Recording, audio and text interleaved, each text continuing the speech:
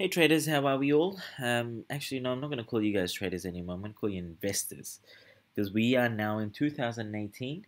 Uh, not only going to be doing forex, uh, I will cover uh, cryptos as well. The more familiar I become with it, and I will start to share more knowledge about stocks in particular and other forms of investments like managed funds and the like. So you guys are now all going to be investors, right? So Hey investors, how are we all? Now, um, since that last video that I've put up in regards to Bitcoin and cryptocurrencies in general, there's been a tremendous number of, of response, so uh, messages.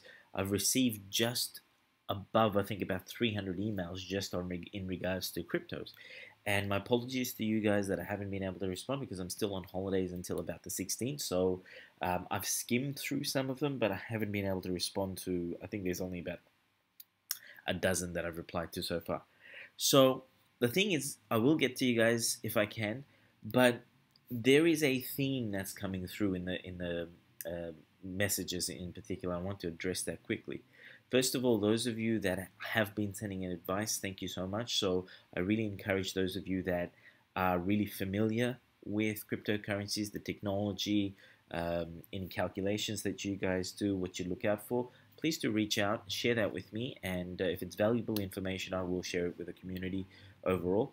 Now, one of the key things um, that I think uh, some of you, those that have sent in questions, are struggling with is um, valuation. So uh, some of you are looking at some of the cheaper coins that are there and then just kind of jumping straight into them without um, discerning as to what the viability of that that um, technology, that coin, that token actually is. First things first, in the last video I mentioned doing your due diligence in regards to fundamentals. So reading the white paper, getting to know uh, more about who the head or the face of that project is, the development team, where they're located, and uh, quite importantly as well, uh, what's the solution uh, that they're looking to provide? So, is there a real world problem that exists? And if it does exist, uh, read the white paper to see the manner in which they're providing the solution, and then use your own awareness to decide on whether something is or something isn't. Another piece of information that I'd like you to kind of become aware of is this that for example, for those of us that have existed in the Western world, that we've got a certain way of seeing things or a certain way of doing things or understanding things, right? So if one of these projects here, any of these projects associated with any of these coins, if they come up with a manner in which they do something, right? I'll give you a quick example. Like, for example, Tron and their uh, crypto doggies project that they're coming up with. Now, we would look at something like that and say, well, it's a game, it's one of those electronic things that you would probably, an app or so, you, something along those lines that you download, um, and it'd be like a, a little emoji or something along those lines, right? For us, we'd be thinking, what the hell, why would people pay for that? Um, I certainly do at my age anyway. But then I'd look at my, my young nephews who you know, uh, teenagers and, and younger, um, they would eat up some of this crap. Um, and my apologies to those of you that like that. At the same time, when you're looking at different cultures, like um, you know, going to China or South Korea, for example, um, these things would be extremely popular. Japan is another one. So we've got to be able to look at some of these projects with a complete open mind, so that you know that look, this is for such and such uh, as a consumer, not for myself. And when you're investing, you're not investing in products and services that only you will take up. You're really investing because you've got to understand who the target market for some of these projects are. And doesn't matter if you fall into that target market or not, look to see how big the target market is, is if, if that is going to be a real world solution. Now, I asked a friend of mine, uh, we were having a discussion, um, and I said to him, you know, when you go back in the day, like say for instance in um, uh, the the early 2000s, right? And you thought about a service like uh, YouTube or a service like uh, Facebook, would you believe, or, or Snapchat, for example, that's got a valuation of about 33 billion, would you have believed back then that something like, you know, something simple like Facebook could be so popular today and the company be so wealthy. So in the, in the same way, or, or even look at fidget spinners, how that craze came and to some degree went, um, but it's how quickly something like that can catch on. So look at these projects with a complete open mind and to try and understand on some level, and, and this only applies if whatever they're trying to do doesn't kind of fall into the scope of wherever you exist in the world. Okay, so that just keep that in mind. Now, the main aim of this video was to discuss the correlation between uh, unit prices here, um, the number of coins, and also market capitalization. So it's extremely important for you to understand that these prices, in some way, shape, or form, have a large degree of correlation with these two columns here, right? So basically, let me take a nice round figure. Okay, we've got we've got NEO or Qtum. Let's take um, let's take uh, Qtum um, for example. It's got 100 million coins, right? Right now, its value is at $53 per token per coin. Now, in order for Qtum to have reached $1, right? What you want to see here in this column, in the market capitalization column, is an amount that is the same or very close to this, which would be 100 million. So, and then for it to get to $2, yes, market capitalization has to be 200 million.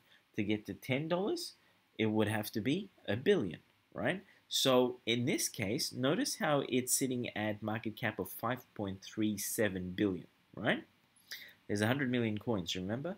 So what this effectively means is that right now, um, the market capitalization of Qtum overall is about 53 times that of the number of, of uh, coins available for Qtum overall, right? So if we then go and looked at this here, notice how 53 times 100 million will get you this figure, right?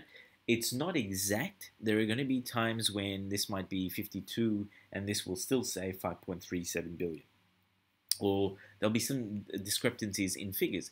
But generally speaking, what you're looking for is an understanding that if you were looking at coins like, for example, okay, let, let's take Tron for example here. There's 65 billion coins available at this moment. Forget about any coin burn or anything that's going to happen in the future. But today, on the 10th of January at 5.30 p.m., we've got 65 billion coins that's shown here that, that Tron has overall, right? Forget about the lockups and stuff like that. So in order for Tron to get to a dollar, you would need market capitalization here to read very close to about 65 billion billion dollars, right? And so if someone was to say, um, yep, I'm going to buy this and this is going to get to $10 very quickly or $10 in the next three years. What that actually means is that in order for this to show you an amount of $10 there, this here would have to, or this here would have to be 10 times this value here. So we're looking at the requirement that the market capitalization of Tron would have to be 650 billion in order to get to that $10 amount, right? So when you guys are looking for um, something to invest in now, if it's a project that fundamentally is very strong, certainly go ahead and invest. But if it's something where you're looking to kind of speculate and um, double your money or triple your money or increase your dollar value investment wise uh, quickly, then what you're going to look for is coins that actually have a low supply, right? That has to some degree decent fundamentals, and that initially has got a lower market cap. So what that's going to give you is a lower amount here, which by way you can invest more money into, and eventually with combination of good fundamentals, when the price goes up, then what you'd end up getting is a nice uh, return multifold. That's very, very important. So keep this in mind. Look at the number of coins available. Look at market capitalization. And then that's going to give you, to some degree, an idea of what the coins are. Yes, to a large extent, many of these coins that you see probably don't have working products yet. Um, and that's this where this this idea of a bubble is going to eventually come from. Um, I think in regards to cryptos right now, the overall market cap, I think we're sitting at about 600 something billion right now because it's fallen slightly. Um, it will most likely get into the few trillions, uh, in my opinion, probably at least above 1 trillion, one or two or more, before there is some sort of correction. What would the correction be? Basically, it's this. Remember when the internet came out and you had websites going up and there was ridiculous amounts of valuation happening with them? It's going to be something similar. Right now, we've got, I think, about 1,300 altcoins all up. Um, and most of them are rubbish. Um, but the thing is that because of the hype behind them, that it actually creates this inflated valuation for all of them. Um, and when you're looking at this, like this is the amount of actually fiat money that is invested in all of this. So Neo, the Neo project, has 6.02 billion dollars invested within it.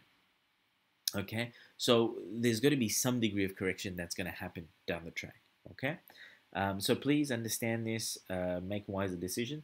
In the next video I'm going to make straight after this one here is going to be about a free group which you can very quickly join and be a part of uh, pumps that happen. Basically what it is is going to be is where there's a group um, that's come through that I've, um, you know, one of you advised me about.